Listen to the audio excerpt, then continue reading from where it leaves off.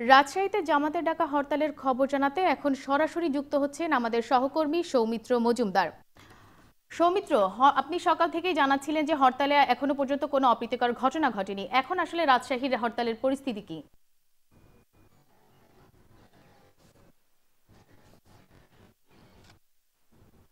Picketing এর খবর আমরা পাইনি। যদিও শিবির কর্মীরা চেষ্টা করেছে।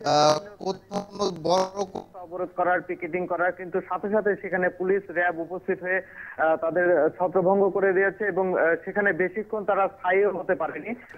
এখন পর্যন্ত বড় কোনো ধরনের সহিংসতার খবর আমরা পাইনি এবং আপনাকে জানিয়ে রাখি যে সকাল থেকেই সকাল থেকে যদিও কিছু কিছু যানবাহন চলাচল কম ছিল, এখন কিন্তু যানবাহন চলাচলের সংখ্যা বেড়েছে, কিছু কিছু দোকানপাট কিন্তু খুলতে শুরু করেছে এবং রাস্তায় কিন্তু মানুষের আনাগোনাও বেড়েছে। আচ্ছা সৌমিত্র, এক্ষেত্রে কি হরতাল বিরোধীদের কোনো পদক্ষেপ আছে যে হরতালে তারা কোনো সমাবেশ বা মিছিল কিছু করেছে? এখন পর্যন্ত আমরা সে ধরনের কিছু দেখিনি বা জানতেও পারিনি। তবে আমরা যতটুকু খবর পেয়েছি গত রাতে সেটি হচ্ছে যে দুপুরের দিকে বা এগারোটা বা বারোটার দিকে হরতাল বিরোধী মিছিল সমাবেশ করার কথা রয়েছে আওয়ামী লীগ এবং এর অঙ্গ সংগঠনের নেতাকর্মীদের। যদি এখন পর্যন্ত কিছু হয়নি। সৌমিত্র, আপনাকে ধন্যবাদ।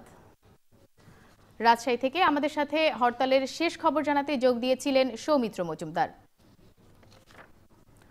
চাঁপাইনবাবগঞ্জে জামাতের ডাকা সকাল সন্ধ্যা হরতাল ঢিলে ঢালাভাবে চলছে।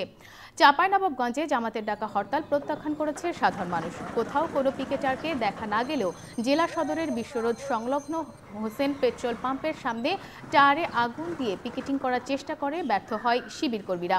দোকান পাটও খোলা আছে। শহরের বিভিন্ন মোড়ে অতিরিক্ত পুলিশ মোতায়েন করা হয়েছে।